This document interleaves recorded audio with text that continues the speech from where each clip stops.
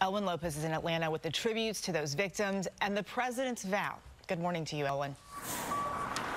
Good morning, Eva. Community now left to pick up the pieces after the violent attack here that put a nationwide spotlight on anti-Asian sentiment. This as the president and the vice president stopped short of calling the killings a hate crime. And the one common denominator of those who have been coming here to pay their respects is not only grief, it is also outrage. Many mourners telling me that their pain is only amplified by the fact that authorities have not called this a hate crime. Dan. Elwyn, thank you very much. Moving on now.